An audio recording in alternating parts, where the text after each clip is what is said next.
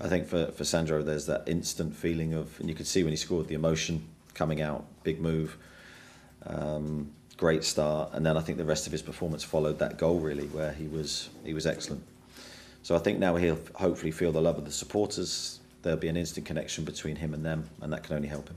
Behind the scenes, is he is he getting involved in the team spirit? There was um, at the start of the week there was a photo of him on social media table booked in Wetherspoons for. Uh, I'm sure that I'm sure I'm sure you wouldn't have missed missed that. That looked like it had all the hallmarks of Matt Ritchie. Maybe I'm being unfair there, but um, I mean, is that I, I take it that's part of the, the sort of team morale, but behind the scenes at the moment.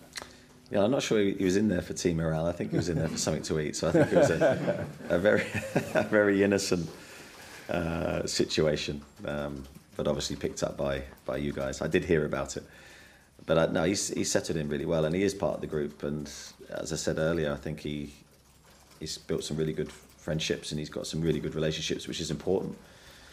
Certainly, when you go into a new dressing room, you want to find people that you can identify with and get along with, and that certainly helps settle you on the football pitch as well. He might end up going somewhere a bit nicer once he gets uh, his English lessons. I, don't, I, don't, know how Matt Ritchie's got the blame for that. I don't know. I'm, I'm just putting two and two together and coming up with five. Poor Matty. Yeah, I'm not sure he booked it for it. um, on a more sort of serious note, I know it probably wasn't uh, serious, perhaps said by Jurgen Klopp at the weekend, but um, after their match last weekend, he said the new technical area rules. He said there's one club that it's it's going to affect more than, than others, and it's going to be Newcastle. Um, did you see that? What did you make of those comments?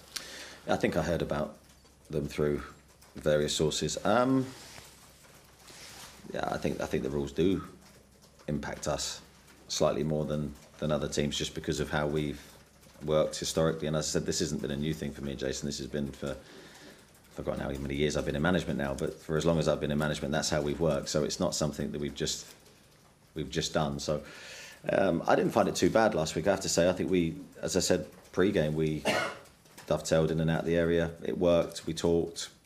I wouldn't have noticed necessarily a, a big change from previously.